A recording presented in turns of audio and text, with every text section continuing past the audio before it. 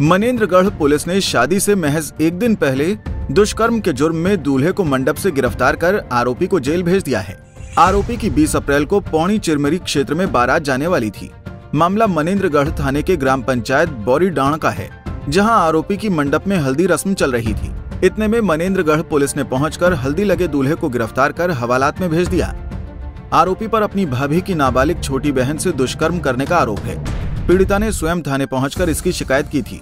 बताया जाता है कि आरोपी नाबालिग को शादी का झांसा देकर दुष्कर्म करता रहा।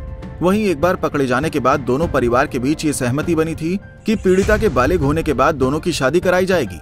वहीं कुछ दिन बीत जाने के बाद आरोपी के परिजनों ने उसकी शादी अन्य दूसरी लड़की से तय कर दी, जिसकी शादी कल 20 अप्रैल को होनी थी, जिसकी जानकारी मिलते ही पीड़िता ने मनेन्द्रगढ़ थाने पहुंचकर शिकायत दर्ज कराई। पीड़िता की शिकायत पर मनेन्द्रगढ़ पुलिस ने आरोपी को गिरफ़्तार कर न्यायिक रिमांड पर भेज दिया है।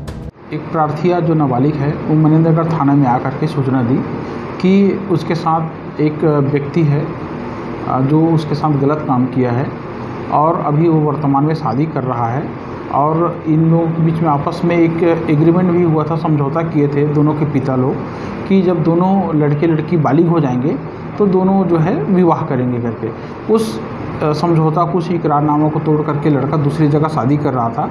उसी रोष में लड़की के द्वारा थाना में मनेन्द्रगढ़ में आकर के शिकायत दर्ज किया गया कि लड़के के पक्ष और लड़का जो है, वो दोनों दूसरे जगह शादी कर रहे हैं करके।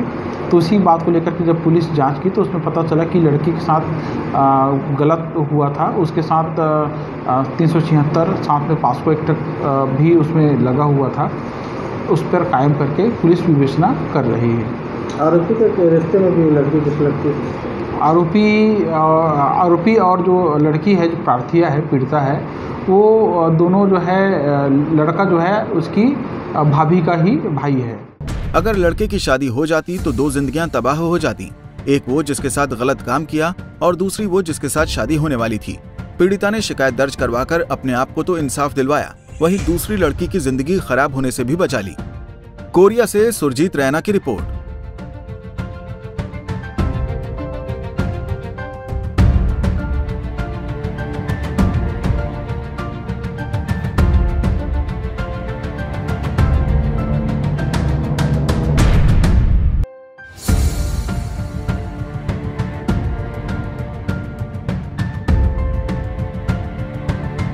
हमसे जुड़े रहने के लिए हमारे YouTube चैनल को सब्सक्राइब करें और नई वीडियो की नोटिफिकेशन के लिए बेल आइकॉन को दबाएँ।